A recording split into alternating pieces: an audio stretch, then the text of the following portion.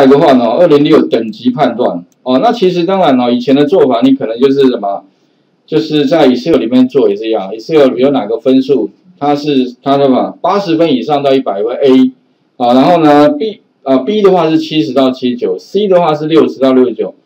不及格一般是 D 啦，不过它这边是给 F 了啊，反正这个规则我们就按照它给的这个呃条件来做，OK 哈，那当然呢一。为什么要学 Python 啊？主要主要就是你可能要慢慢习惯脱离那个像啊 Excel 这样子。其实 Excel 的话，它相对方便啊。不过它我刚刚一直强调，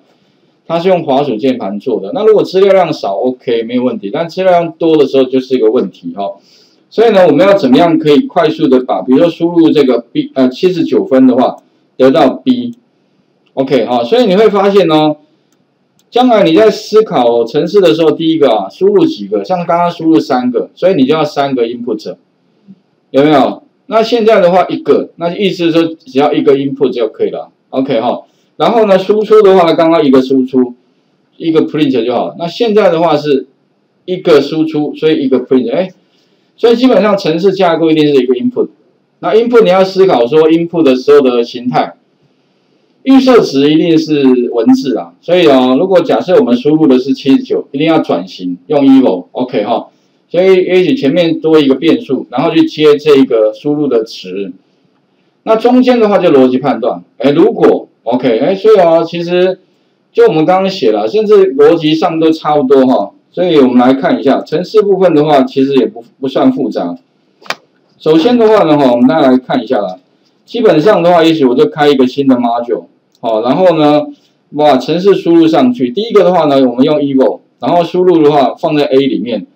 那条件的话，如果哎，所以底下的话这么多，那我们基本上哈，当然第一个了哈，我们可以先 if，if 什么呢？if 这个 A 啊，假如是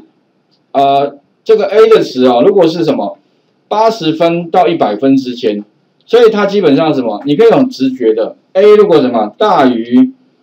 哎，它有没有等于啊？大于等于，哎，大于啊，那应该有等于，大于等于八十，哦，所以大于记记得要加个等于哦，如果没有个等于的话它就八十分就不算 A 了，OK，所以大于等于八十，空一格 and，A 怎么样呢？小于一百，哎，没有，应该小于也要等于一百，因为有可能一百分呐，对不对哈？OK 哈，然后冒号 Enter 的话呢，你就啊 Print，所以这边的话你打一个。print，跟他讲说啊，你这个结果的话，我给你 A 了，OK 好，那底下的话当然很简单，剩下来的话其实一样嘛，把它复制一下，复制之后的话呢，你再把它贴了，所以底下的话呢，Enter 之后，然后 back 到前面去贴，然后把这边改一下，改一个 E 了，有吗？然后再再来的话就是，诶，大于等于七十，然后小于等于多少？小于等于七十九。对哈，哎，七十到七十九，啊，当然，如果你将来哦，如果不要等号的话了，那变成什么？大于的，大于这边变要大于六十九，可以感觉好像有怪怪的。OK，所以哦，可能结果会或许是一样，但是有时候你可能要考虑到那个逻辑是不是比较顺一点，而且要考虑要一致性哦，你不要有的写那样，有的写这样，啊，当然就不 OK 了哈，自己比较容易写错，然后再来什么？这边把它改成 print B。那再来的话一样嘛，把这这两行对吧，再复制一下，然后复制完之后的话再 Enter，好，然后 back 到前面去贴上，然后一样呢，再来就是 C，所以这边的话呢，当然你可以再输入六十，然后这边的话就六十九，那输入是 C，OK 哈，当然呢，你后面的话呢 Enter 哈，一样可以再贴，那贴的话呢，你就是啊，哎，应该其实就小，哎，应该就这个地方应该小于多少？小于六十应该就就是答案了，啊，不用 end 了，有没有？那就 print 什么？print f，呃，小呃小于六十嘛，f 哈，啊，当然了哈，其实另外一个写法了，就是你刚才 else 也可以了，因为上面的都去掉了嘛，有没有？上面的一百啊一百分到八十，七十九到七十，六十九到六十，都已经去掉了。那所以剩下来的，所以另外一个写法啊，如果你不写这样的话，当然你可以写成什么？写成 else 就好了。哎，F 这样应该 OK 哈，试一下。当然，两个写法哈，只要符合它题目要的，其实基本上都是 OK 的。好，把它执行一下。然后我们来看一下，基本上哈，把这个执执哎，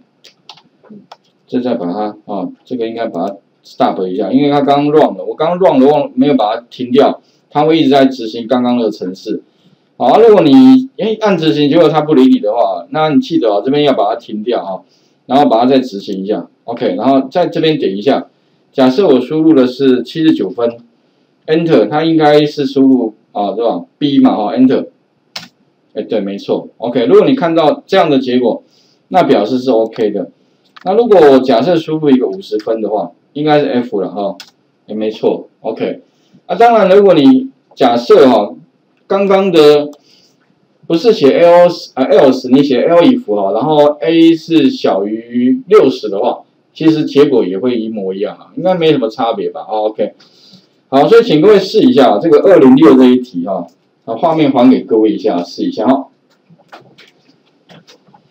所以哦，这个地方的话，主要是要让各位熟悉哈这样的写法，有没有？等于是说呢，在啊逻辑判断的后面啊，除了有一个条件之外啊，如果你还有第二个条件的话，而且第二个条件要是啊连啊这个交集两个都要同时为处才会为处的时候，那就中间记得用个 and。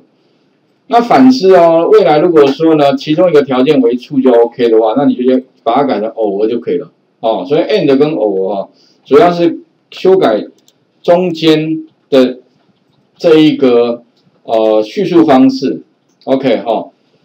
那所以其实啊，你会发现这个 Python 啊，写写久了之后啊，其实还蛮直觉的啦。那一般工作里面的话，或者我们一般在应用这这些资料的时候呢，不外乎也就是说。会有大量的资料进来，那进来之后的话呢，你就不断的跑个回圈，然后让这个逻辑去判断。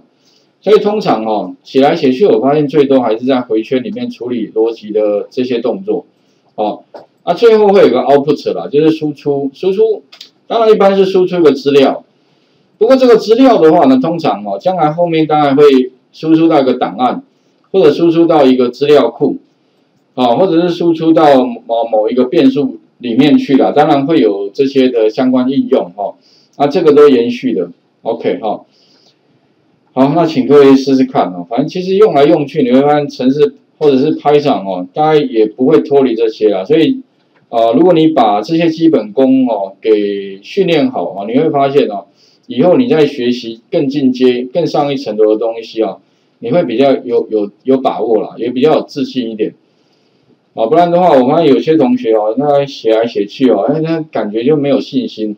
然后呢，通常刚开始可能用抄的比较多吧，哦，当然，哎，这边抄一点，那边抄一点。当然呢，也是一种阶段啊，因为你会发现很多工程师刚开始哦，也是，呃，就是东抄一点啊，西抄一点。但久了久了之后哦，毕竟不是长远之计哦，可能最好。还是能够自己很熟练的把这程式给打打出来，OK。所以如果假如呢，你做完了这一题之后的话，哦，呃，也许可以再试试看，哈，那个二零八，啊，二零八的话是十进位换算，十进位换算什么意思呢？十进位，这应该是十进位转十六进位，哈。那规则这边有写了，哈。就是说呢，如果今天输入那个零到九，那当然没没什么变化。可是如果你今天呢，假如你输入的是什么 A、B、C 一直到 F 的话，那 A 的话变十一，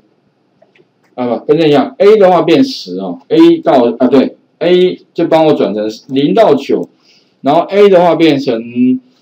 呃 A 它就变成十到十五吧，我印象中应该这样哈，十六进位。啊，十到十五对，十到十五的话呢，那就分别是 A 啊到 F，哎，所以哦，所以它这边有输入一个十三，Enter 的话，它得到 D 啊十，等于是把那个什么了，把那个呃十进位变转换成十六进位，OK 哈，等于是。零到 F 啦，零到 F 刚好零到九，然后十刚好就是 A 嘛，啊十一刚好 B，然后 F 刚好是十六 OK，好啊，所以我今天如果十进位就输入一个十三好了，那十三算的话就是啊 A B C D，哎，它就把 D 也输出了。OK，那可是问题程式该如何撰写？这边的话，当然哈，你可以思考，哎，这个可以想想看，没关系哦。当然，答案绝对不是只有单一的，只是说一般习惯哦，想当然是想出来最简单的程式，不要太复杂。比方说写完之后，哇，程式好冗长哦，对哦，所以通常啦，会像我都会试写个好几种，然后最后挑一个最精精简的。不然考试的时候打打一堆程式，其实当然不是很 OK 的哦。而且另外的话呢，也程式越短，当然也就不容易写错嘛。哦，有逻辑越简单，也比较不容易写错。所以要怎么样解决一个问题哈，又能够让程式简短、逻辑简单、不容易犯错，比较不不会有 bug，哎，那当然就是比较比较好的写法哦。不过这个可能就是后面慢慢慢慢揣摩的，好 OK。所以请各位试一下哦，哎，再来如果二零六 OK 的话，再来就是二零八 OK 哈，试一下二零八哈，十进位换算。